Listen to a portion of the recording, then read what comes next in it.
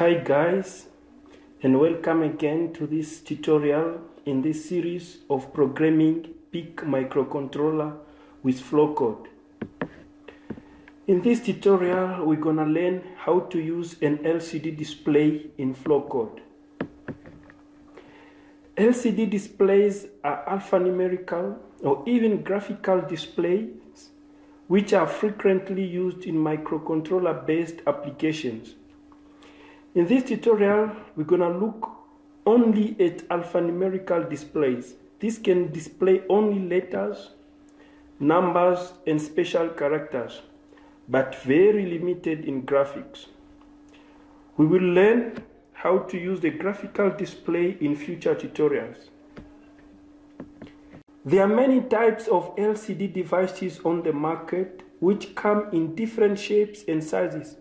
Some LCD have even up to 40 or even more character length with capabilities to display even several lines. To insert an LCD component, you can just go to the output group component and click on LCD. If you want a graphical LCD, then you can click on graphical LCD. In this case, we're just gonna use a alphanumerical LCD. The default LCD is a 16 by 2 lines. This basically means that it can display up to 16 characters in two lines. You can change if you need a different type, you can just click on X properties. Then you can choose whatever you want. You, you have 8 by 1, which can display 8 characters in one line. We've got 8 by 2, 8 by 4, 16 by 1, 16 by 2, up to 40 by 2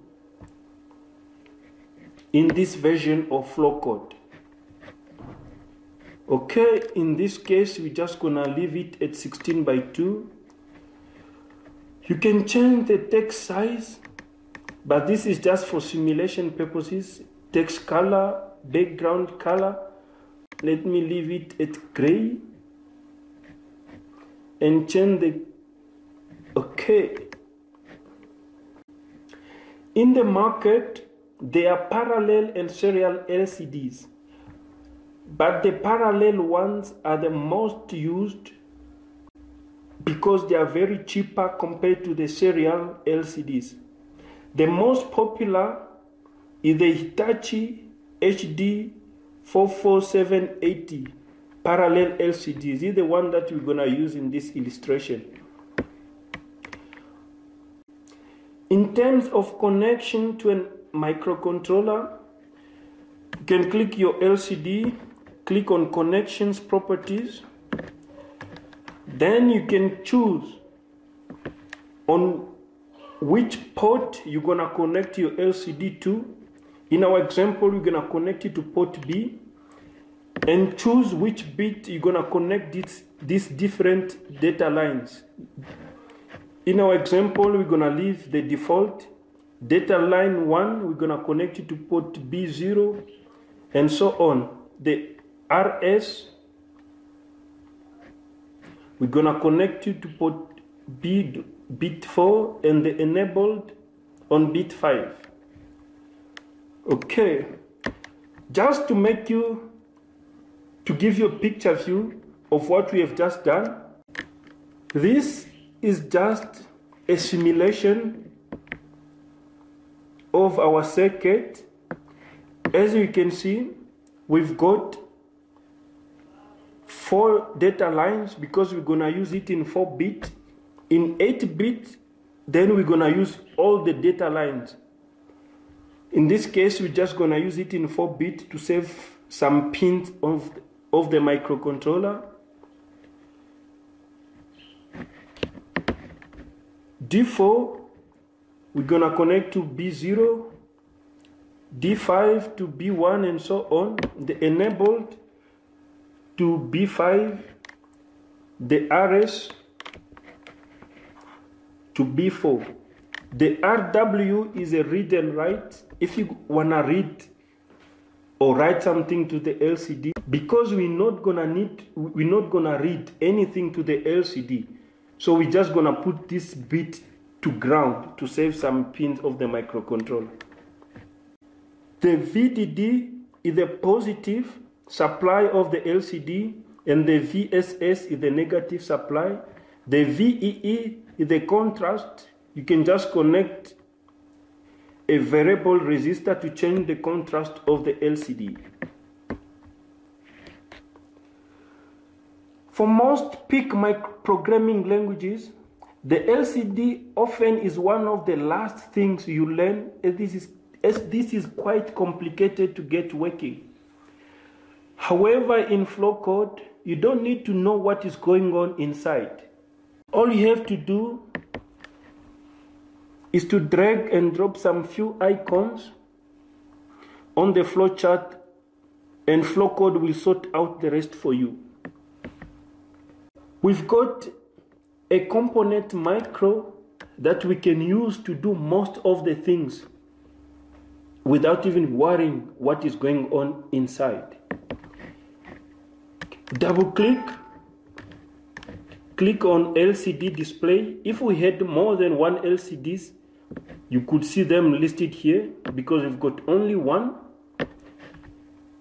The first micro is start. This is the first micro that is used to initialize the LCD. This micro should be used before using any other micro. You can click OK and this is going to initialize the LCD. The next function to use is the clear. If you want to clear the display, you just click on clear. Okay. The next one is print ASCII.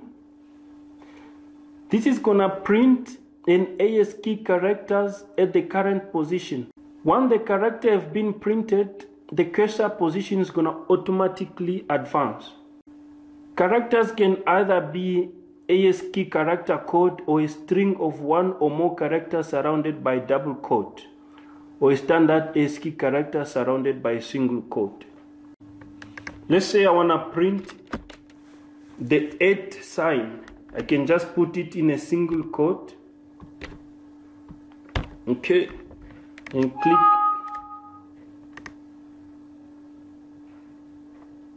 Sorry, I'm supposed to put single quote. Okay. The next one is command. This send the command signal value to the LCD display. The next one is a cursor.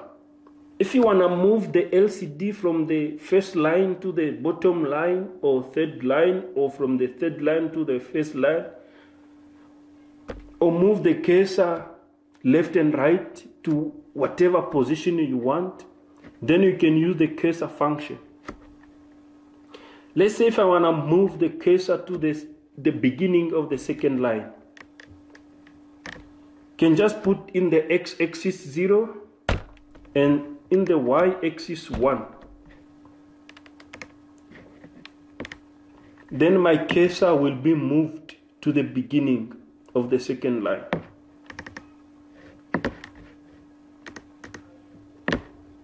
The next one is print number. This one print a number that is supplied. It has to be an int or a byte number. If I want to print 10, I can just print 10 and the LCD is going to display 10. I can, if I want to print an hexadecimal number, I can just start with 0x then put whatever I want to put let's say 1 in hexadecimal if it's a binary number then I'll need to start with 0b and put whatever number it is. Once the character have been printed the cursor position is automatically advanced to the next position. The next one is print string. This one can print a string of characters to the LCD. You can either select a variable or you can even directly put your string surrounded by double quote. Let's say I want to print hello world. You can just put some double quote hello hello world. What is important to note is the length of your string must not be longer than the length of the character that your LCD can is able to display. Otherwise, some of the character will not gonna be displayed. You're not gonna be seen on the LCD. You'll have to scroll left or right to see everything. The next one is scroll display. This scroll the display data left or right by, by number of positions that you're gonna specify in num position byte. If the direction byte is zero or L, then the LCD display is gonna scroll to the left. Let's say if, for example, I want to scroll left by two positions, what I need to do is to type L surrounded by single quote and 2 okay. Then this display is gonna scroll left by two positions. If I wanna scroll right then I can type right, R or even R in capital letter then it's gonna scroll right by two positions The next one is clear line, which can clear an entire line of the display and then return the cursor back to the start of the line. The RAM, the RAM write can be used if you want to write something into the RAM of the LCD. Okay, let us create a simple program to display hello world on the first line of the LCD and student companion on the second line of the LCD. What I need to start with is to initialize my LCD first, then display string.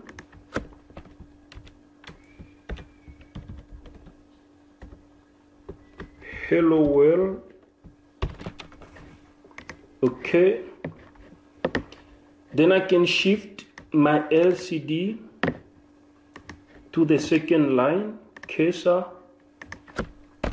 0 1 okay. Then display print string. I can do the same as I did.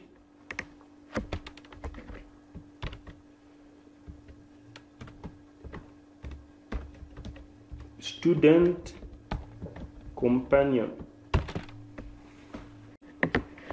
and a while one loop first run my simulation it's gonna be hello world student companion Okay. I can also use a variable instead of typing my string directly. I can say create a new variable test. Can use it test equals to student companion. Then instead of writing my expression, I can just use my variable. And the result is to be the same. That's all for this tutorial guys. Thank you for watching and don't forget to subscribe to this channel to receive more updates. I will see you in the next video. Thank you.